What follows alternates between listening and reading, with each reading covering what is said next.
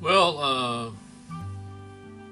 today, today I'm going to be doing a little drawing, and uh, I thought about uh, making the theme of this video uh, a, an instructional video on how to sharpen a pencil, because that's the that's the main thing in this drawing is sharpening my pencil.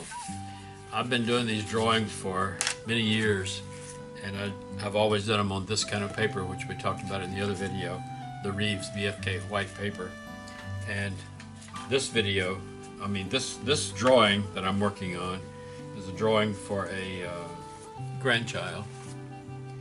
And uh, I am, uh, I've been working on it and I got sidetracked on other projects, but I'm getting back to it now. I have, uh, I have never worked with anything on this paper in drawing except these kind of pencils. Uh, different brands maybe, but drawing pencils.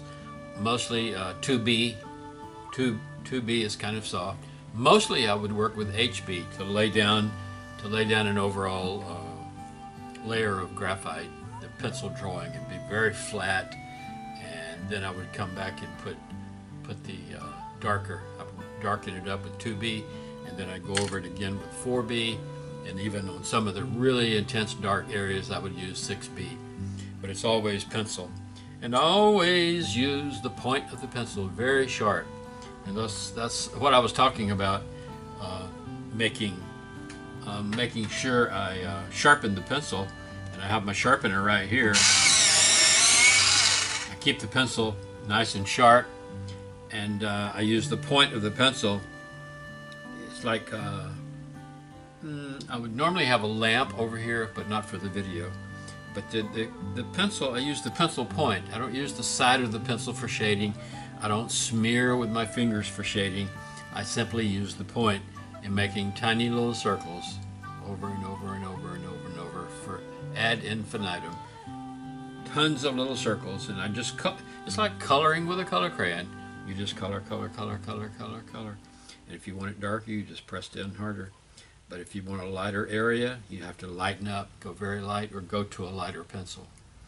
Now, I've got kind of got a layer of dust over here because I haven't been working. I've got a couple of projects I was working on in addition to this main drawing here.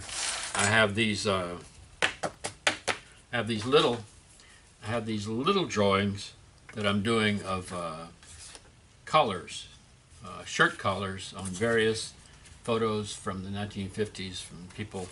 Uh, assumed they were relatives of some kind. Uh, they were from uh, pictures from my mother, but I'm doing their collars, their shirt collars. This is uh, this is one here, and this is a piece of paper getting ready to do one, and I've got a have got one already finished somewhere here, but that's a side project. That's just a little little personal project I've been working on the main thing that I'm doing in this drawing is this is this drawing here of my of my uh, daughter granddaughter. And she is uh, there's one of my one of my collars. Uh, she is uh, 11 she's 11 years old now. And I told her I would do a portrait of her when she was eight. And so it's taken me I'm still working on it.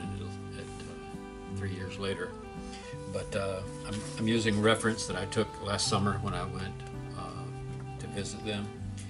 And I've already done uh, paintings. I did paintings of the, the two other girls, and I'm doing this drawing. And I'm sure they want a painting, but I got this idea for doing a drawing with a, a cutout uh, masonite, painted masonite background that I'm going to mount this onto with some plexiglass over it and uh, see how that works out. I, uh, I hope it turns out okay, but uh, I'm just uh, involved in doing this drawing, and it's kind of been on the side sidetrack because I had to finish my print, and then I have to finish the big painting, and I've got my drawing over here kind of in limbo. It's just waiting. It's uh, almost done, as you can see. As you can see, it's uh, it's quite a bit advanced, and I've got some finishing touches to do and uh, actually want to do another one uh, of, the same image but uh, that's another story for another video. Anyway, uh, these are my pencils. I, I, just sit here and uh, sharpen my pencils and uh, make little circles with my pencils over and over and over and over and get really bored. But this is what it comes out to. And I've been doing these for many, many years. Uh, the original ones were huge, as big as this table that I was doing those drawings. And uh, slowly, I've made them smaller and smaller because it takes so long to do them.